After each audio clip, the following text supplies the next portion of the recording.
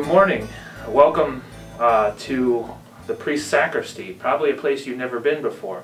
But this is where priests, deacons, and sometimes seminarians come to prepare for Mass.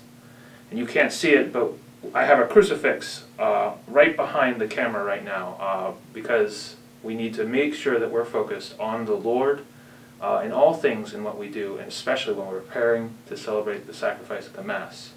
So let us take a moment to pray uh, for the grace to do as He asks us in this video and in our lives. In the name of the Father, and the Son, and the Holy Spirit. Amen. Lord Jesus Christ, we offer you a prayer of thanksgiving for all the gifts that you give us in the Mass, in the Church, and we ask for the grace specifically today to come to a greater knowledge and understanding of your Church through the liturgical colors, through the vestments that the priests wear and what they symbolize, and how they draw us to recognize your love for us and for your Church. We ask this in Jesus' name. Amen. In the name of the Father, and the Son, and the Holy Spirit. Amen. Okay, so the first vestment that a priest puts on, uh, or the first vestment that I put on, is the alb.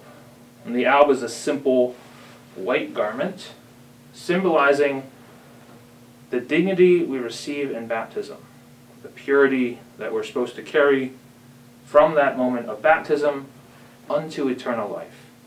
And so we put on the alb with that recognition that God has called us to be pure as we serve Him. Again, especially as we serve at this Mass.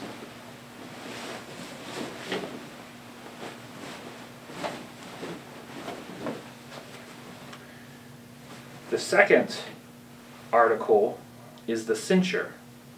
And the cincture, depending on if you're a priest of the diocese or you're a priest of an order, can be different. But in its simplest form, it's just a cord. Practically, it keeps my alb from tripping me. But it symbolizes the promises as a priest that I make, to remind myself that I've promised obedience to the bishop, that I promise to live sim as simply as I can, and that I promise to be uh, pure with myself. And so I put on the cincture just like that. And then I pull up my alb a little bit so I don't trip over it. This alb my parents got me, which is a little bit long. They thought I was taller than I was, I think. So these are the undergarments for the priest. The next is has to do with the liturgical color. So we're going to go over all the liturgical colors, and we'll start with green, which is a reminder of ordinary time. And in ordinary time, it's the normal life of Jesus. The other colors represent different aspects of Jesus' life. But green is just his daily life and how we we come to know him and how he lives and how he he acts. And we see him on the Sermon on the Mount, we see him teaching, we see him healing, we see him preaching and preparing his people to receive him and understand who he is. And so when we wear green, it symbolizes that it's an ordinary time in which to come to know Jesus. And we're actually in ordinary time week 25. Uh, this was the last Sunday, which you may be watching the video much later than that, but we're in ordinary time right now, and we will be until the 34th week of ordinary time. There are 34 weeks of ordinary time, uh, which can be a little confusing, but we're not going to go into that. So what I do is I kiss this, which is the stole, which goes under the chasuble, which is the outer garment. The stole in Roman times was a symbol of your authority. And so when I wear this stole, I put on the authority of Jesus. And so I signify by wearing a stole that I am a priest. And I tuck the stole into my cincture just to hold it so it's not flapping around or anything like that. And then I tighten it up a little bit. The chasuble is generally ornate. Uh, again, it's the liturgical color green. But it has different symbols and signs on it. This one has a chalice on it with the Eucharist and many other symbols like wheat and all kinds of different symbols uh, to remind us and draw us to what we're celebrating. But the chasuble is what we wear to show the dignity of our Lord, to draw us to that divine reality that we're about to celebrate in the Mass. So it's not to draw attention to me, but to lift up our, our hearts and our minds to our Lord. And that is what we wear most of the time, uh, ordinary time, and green. The other liturgical colors, which we're going to go through one by one, I'm not going to put them on, but all the liturgical color, colors have a stole and a chasuble. And so the stole goes underneath, so you can see the stole a little bit underneath my chasuble, but it's underneath the chasuble. You can see the stole underneath the chasuble, but you can still see the stole uh, underneath showing, again, uh, the authority given to me through the bishop, ultimately from God, uh, to celebrate the Mass. But the next liturgical color I want to speak on is white. And so white is the color that we wear for celebration. And because every Mass is a celebration of our Lord's life and His, his gift to us and His sacrifice for us, you can always wear white to any Mass. Now, generally, like I said, we wear the liturgical color. But if we have a big liturgy and we have many priests, they'll just bring white because white, again, is that universal color. But it's also on our high holy days when we celebrate Christmas, Christmas Day, and Christmas week. Generally, those bigger celebrations, we celebrate eight days of that celebration, uh, eight days of Christmas, and eight days of Easter. And we wear white during that whole time. It's also a color that we wear for certain saints, uh, saints that are uh, virgins or are whole, like they're, they're professed. Uh, different saints will wear white for different reasons, uh, or we wear white to represent them and to give them give glory to God through them, through the, the white vestment. But it's a, a, vestment that shows us that we're celebrating. This stole is a special stole that I've been given that is a Marian stole. We were, it has the little bit of blue in it, so it's still white. We can't wear blue vestments, but we can have blue uh, intertwined in our white.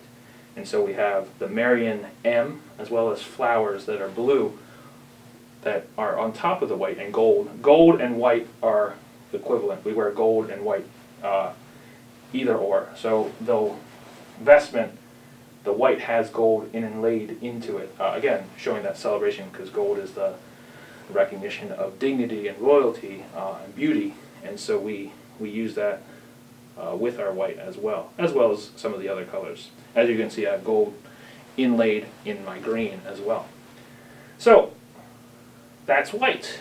Now, and so we only really use white, or you only see white on those high holy days. Uh, during the week, you'll see it for different saints, but if we're wearing white, it's a celebration. You know it's a celebration. So we have uh, the next liturgical color is purple. And there's actually two purples, which we'll get into in a minute. But the first purple is for our Advent season. And our Advent season is the first season of the liturgical year. So we begin our church year with Advent. Even though it's not, it's normally the beginning of December or the end of November, uh, it is our church beginning of the year. Uh, despite it not being the beginning of the year, which is obviously January 1st. But the purple that we wear for Advent, both purples, both for Advent and Lent, are for preparation uh, and penance and getting ready for the special season. Uh, Advent is preparing us for Christmas. And so we wear purple uh, in preparation, but in Advent we wear a special royal purple because we're preparing for the king. Uh, as you can see, this is a nice royal purple versus the Lenten purple, which is more maroon uh, with it's purple with red in it, a more reddish purple. And that's to point us to the fact that we're preparing for Jesus' passion, which is, you know, obviously has his suffering involved in it, uh, his, his blood. Uh, so that red comes from that. And so these two purples both draw us to repentance and to prepare, but different aspects. We're rejoicing because of the coming of the King, and we're preparing for both the joy and the sorrow that comes with Jesus' passion and his resurrection. And Advent has four weeks in it, and Lent has six. And because both of these celebrations have at the end the white of the celebration of the season for Christmas and Easter, we are about two thirds of the way there. So on the third week of Advent and the fourth week of Lent, we have a special color that helps us prepare for the celebration to come. It's like a little reminder that maybe, you know, in our penance, in preparing, we need to be reminded of the joy that comes after. And so we wear rose for those two, because in between the color of purple and white is rose. And so the middle of, or the third week of Advent is Gaudete, which means to rejoice. And the fourth week of Lent is Laetare, which is also to rejoice. Uh, just different declension in Latin, both in Latin, uh, those words that call us to rejoice. And so the third week of Advent and the fourth week of Lent remind us with this rose vestment that we're called to rejoice uh, despite being maybe in penance, maybe in preparedness for that coming celebration, but it's almost here. And so we wear a rose to remind us of that. And it, also, if you remember, we also light the pink candle on our Advent wreath uh, to remind us of Gaudete Sunday as well. Okay.